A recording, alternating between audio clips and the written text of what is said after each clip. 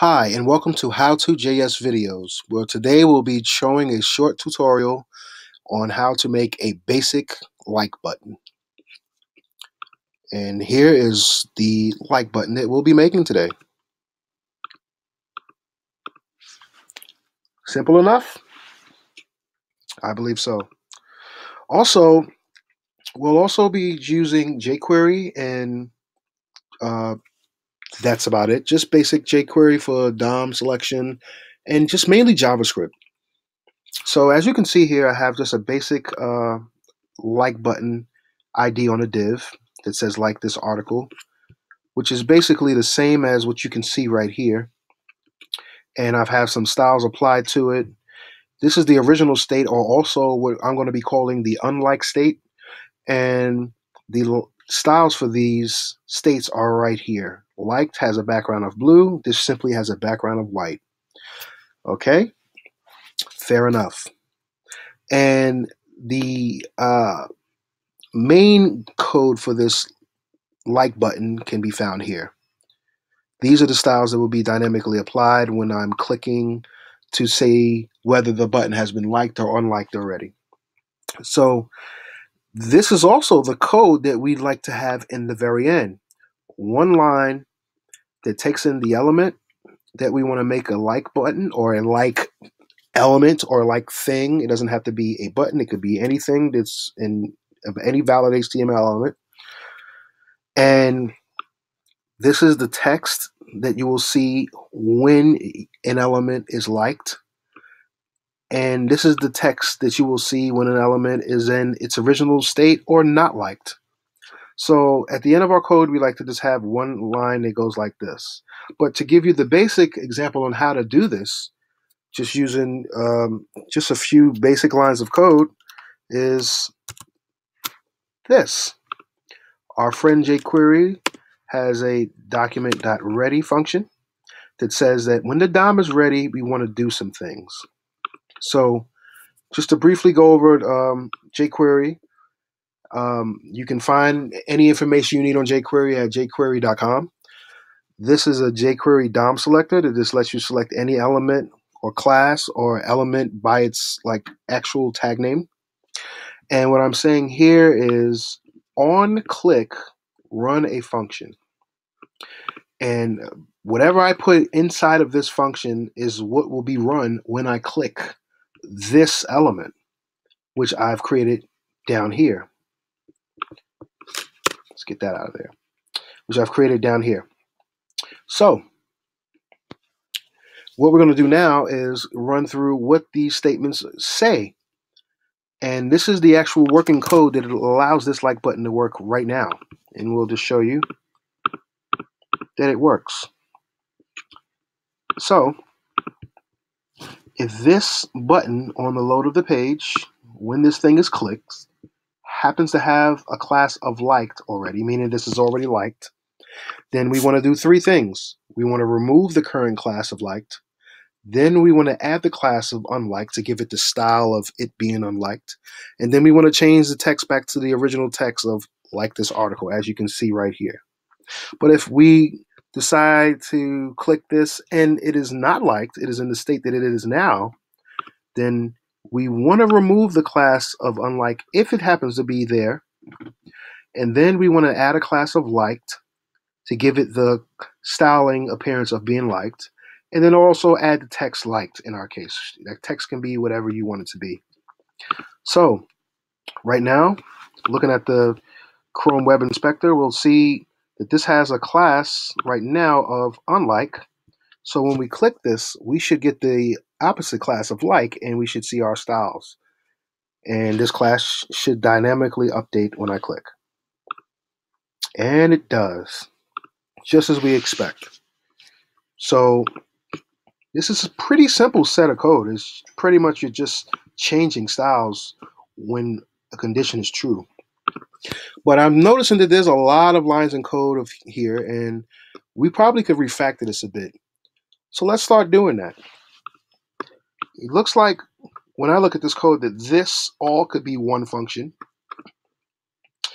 And this can also be a function. So what I've done is I've taken these lines of code and move them up into, in this case, the unlike and like functions.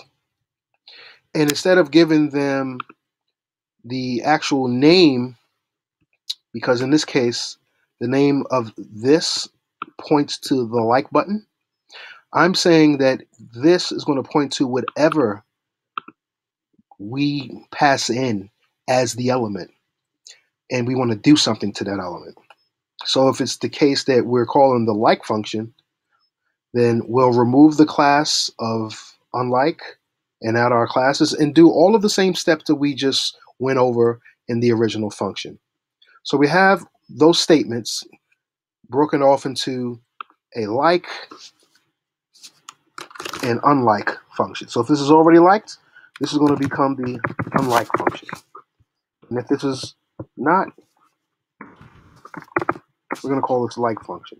Seems to be getting smaller already, right? Looks a little smaller. Would you agree? Yeah? All right. Cool. So that's what we're trying to do. We're trying to make this get a little smaller.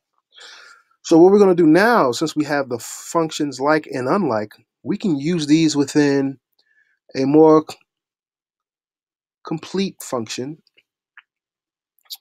that will handle the work for us called like element, whatever that element is. So this will take the same, a similar set of arguments as the other like and unlike functions take. It takes an element, and it takes some like text and it takes some default text, which is also the text that you can say is the unlike text. So when this element is passed in here, it will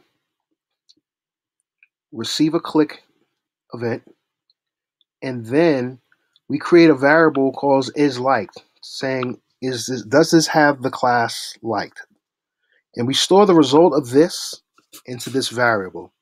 And this now just will return us true or false. So if this happens to be true, then we're going to hop over and use the unlike function. Otherwise, if this happens to be false, we're going to hop over here and like it. And the element that is going to be unliked is the same element that got clicked in both cases. The element that will be liked or unliked will be the same element that we passed down into this function, whatever we called it. And in this case, we called it like button. Same for this text, the like text. This is going to be the default text if we are unliking, and this will be the like text if we are liking. And for the uh, last parameter in both cases. This will be the text that we're going to use for the original text or the like text, depending on what function outcome we get. So this will be used when we want to unlike something, and this will be used when we want to like something. If you notice, both of these larger functions are being used right here in one line to decide what all of this was trying to decide earlier. So now what we can do, just to prove that this works, is we're going to move this down into here and get rid of all of this. Just make our one-liner and change it to like this article, man. Let's see what we get we click it, we should get like this article, man. When we unlike it, we should get something different. Up. Oh, sucks. Look like we do not. Up. Oh, there we go. Don't know where that came from. Had a little error there. So now if we refresh this, we get liked. Like this article, man. Like this thing. Bang. See what we get. Like this article, liked, like this thing. And there's our like button. Hope you liked it. And there's our one line of code doing all of the work